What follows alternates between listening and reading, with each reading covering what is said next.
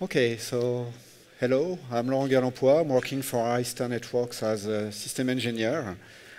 Um, first, thanks to be there uh, right now, just because you have most of you have uh, six to eight hours of presentation, so I try to keep it uh, as short as possible. So I will not go into details about what is OpenStack, but uh, I will more use this slide to introduce you with Arista for people who don't know yet who we are. So Arista is an American company uh, based in California, as most of us. And uh, we're providing some high capacity, high bandwidth, and low latency switches. So right now, that's why we will be more focused on networking part now, and more specifically Neutron. So the goal of this presentation is uh, to show you how we can uh, be integrated in, uh, an OpenStack environment and so allow OpenStack to drive uh, our equipments. So how do we do that? So we have developed an ML2 driver. So we are mainly taking care about VLANs, so type driver VLANs. And uh, you can find this uh, driver on GitHub if you want to install it and play with it. So Actually, what is doing this driver, we are taking care uh, about information like uh, VLANs, for sure, so the tenant uh, network. And uh, we, are taking to, we are taking care too about the VMs and uh, the uh, compute node on which the VM will have to be deployed. So once we, go, once we have all this information, we're using eAPI. So eAPI is, as you can see there on the upper right, it's a JSON RPC protocol we are using over HTTP or HTTPS to propagate information on the physical switch.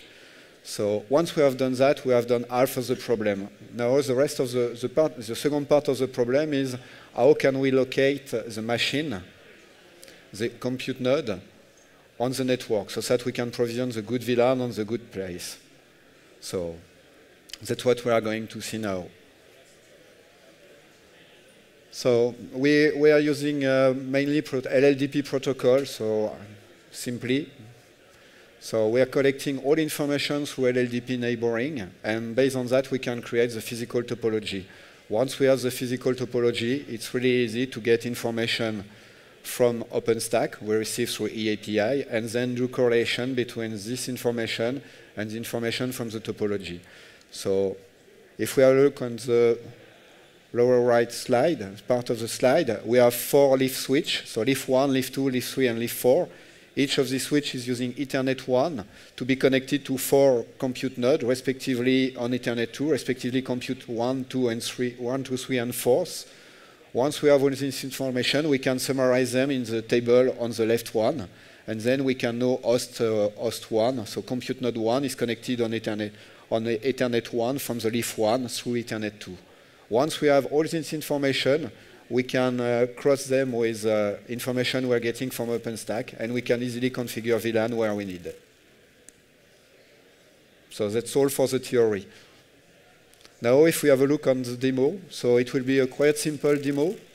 We'll have two Arista switches. Uh, each of these switches will be named BLEAF1 and BLEAF2. And on each of these switches, we'll have uh, BStack1 and BStack2 which will be the two compute node. And uh, on Arista switch, we will be connected on Ethernet 18. So I will be the user configuration, and I will use the Horizon portal to provision some network component. And after we'll have provisioned the network component, I will declare a new instance, and we'll see how it's happening on the switch. So we'll see once Neutron is having information, Arista driver, ML2 driver will play, will analyze information, and push them to Arista node, and then we will be able to program properly all the switches on the good ports. So next step of the demo will be to create network and subnet, so, and then boot VM and attach it to the network. So if we have a little bit more details, Horizon to Neutron for the networking part, and then Arista mechanic, mechanism driver. Okay, I forgot the database, but then we'll push information to our switches.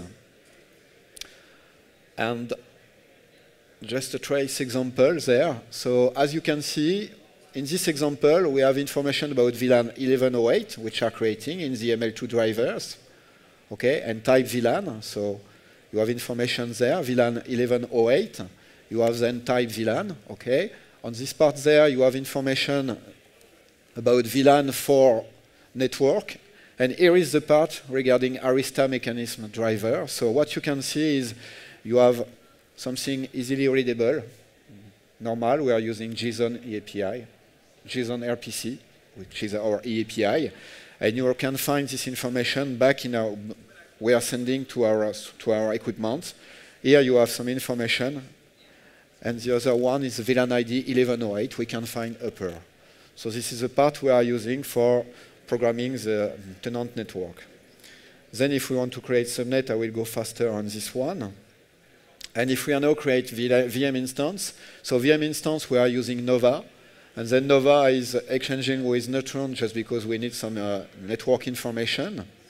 Nova is pushing information to agent. Then Neutron is going back again to send information, and Arista mechanisms driver will, use, will be used again to push some information. This time we'll push some information about uh, VMs, just because we need to know where is the VMs. So we'll be back to the VOS agent, and we'll be able to configure the good equipment, so the good top of rack.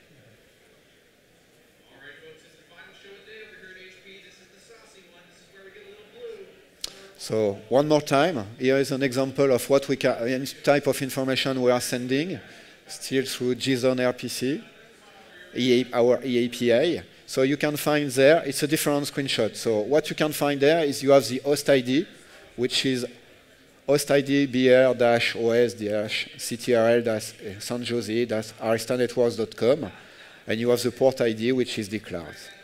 With this information, we are now have on, the, on, the, on, on, our node, we are now having all information requested to create the good VLAN on the good port of the good switch. So now if we go back to the demonstration,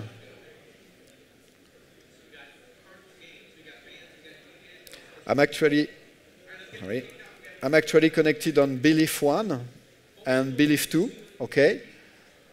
And on my browser, I'm connected, so let me try to sign out if I'm not having timeout. No, it's okay. So I'm connected to OpenStack portal. And I'm going back to there. So I'm connecting on BLEAF do, so I'm going to do show LLDP neighbor. And you will see on Ethernet, can you see Ethernet 18 there? Okay, on Ethernet 18, we have BStack 2, which is my second compute node. And if I'm doing the same, I'm doing a show VLAN to give you an idea. So as you can see, there is no dynamic VLAN created at this time, except the VLAN 100, sorry, for another demo. But you'll see some more um, appearing on the during the demo. And if I'm doing the same show LLDP neighbor, so you can see still on Ethernet 18, you can see BStack 1, which is my first compute node. So now if I'm doing show open stack networks, what I can see is I will be careful about uh, tenant name demo, okay? And what you can see actually in tenant name demo, I'm only having a network name private, okay? So this is close to, to be empty. So if I'm doing the same thing with VMs, Oops, sorry. You'll see you have the list of VM we have created, okay? And you have some host already existing, the VM. So right now I'm going back to the Horizon portal. I'm going to the tenant demo. Is it a big enough for you? It's okay? Now I'm going to project, networking,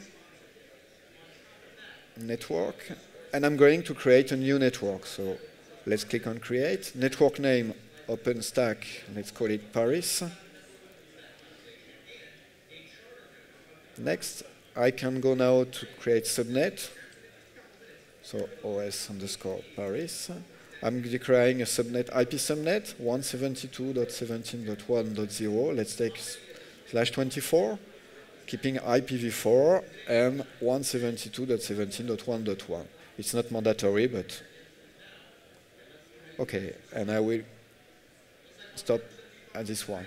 So now I can see I'm having OpenStack Paris, which has been created. So next step is go back to my lift one and show OpenStack networks. What can I see? I'm having now OpenStack Paris, which has been created. So I'm having the information. But now if I'm going, by example, show, show VLAN, I can see Okay, OpenStack Paris, my network ID and my VLAN segment type is VLAN 1111. But if you're going to lift 2, you don't see it at this time. We just have a new tenant network, but we don't know where to push it. And now, if I'm going back on this one too, show VLAN, not yet any VLAN. Okay? Now, next step is to go back to OpenStack Paris. I'm going to compute this time, and I'm going to instantiate a new VM. So launch instance, OS OpenStack underscore VM. Let's say I will keep the flavor M1 Nano. I'm going to boot from image and select a small one, this one. Then I'm going to networking and I'm going to provision OpenStack Paris as a network part of my VM. I can launch it Okay, so it has been successfully created. Just let's wait a little bit for the VM to be ready. Okay, so the VM is now running. I'm now going, going back, sorry, to my screen. Show OpenStack networks.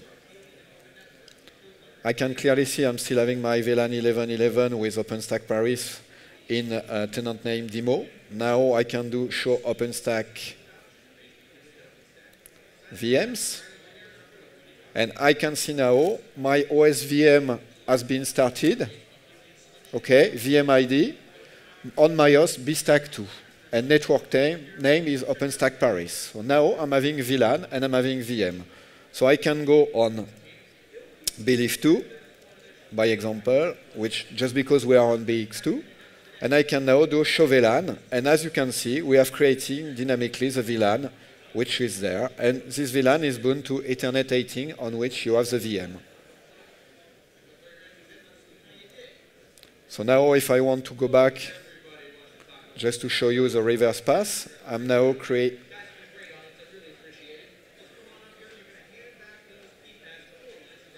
Now I can go back. So I will terminate terminate, sorry, I have to click there. I can terminate the instance.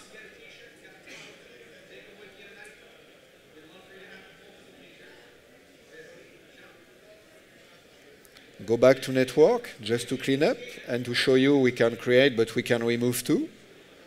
I'm removing OpenStack Paris. Okay, so normally there is no more trace of what I've done in, through OpenStack. I can now go back to the window. So if I'm doing now show VLANs, oops, I'm not seeing anymore my VLAN 1111. If I'm now going back there, oops, show OpenStack VM, there is no more VM on the demo tenant. And if I'm having a look on show OpenStack network, it has disappeared. So as you can see, we can dynamically create some VLAN and we can dynamically remove them. Actually, we can work too with some uh, static mapping between VXLAN and VLAN so that you can create some VXLAN domain over IP fabric by example.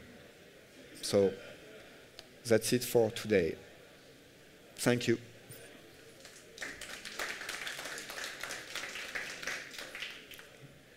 If you have any question,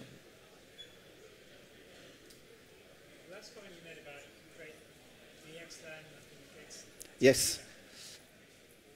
The question is about creating some uh, mapping VLAN. Why do I create some mapping, static VLAN, static mapping between VLAN and VXLAN, right? One-to-one mapping. Yeah, it's a one-to-one -one mapping. Instead, we, uh, in fact, today what we are doing is we are pushing information about VLAN, and uh, we have some command to create some static mapping. So as soon as we are seeing through the uh, through the um, through the switch environment, we can create some static mapping. So when we are seeing the VLAN, we know automatically we have to identify this VLAN and map it, to map it sorry, to a specific VXLAN number, VXLAN VNI. And then in this case, we can create VLAN and carry uh, this uh, layer 2 information over the VXLAN domain. So it's a one-to-one -one mapping today, and it's done automatically. So you don't have to be care about that. You just need to declare a VLAN 1000 to uh, 1100, and the VNI will be uh, 11 uh, to 11,000 by example. And then as soon as you're creating a new VLAN, you will have a VXLAN being mapped automatically on the good switch. Does it answer your question? Okay, but uh, if you if you have some more question or you, some more needs, please don't hesitate. My mail is lg at arista.com. Some more question? Okay, thank you. Have a good evening.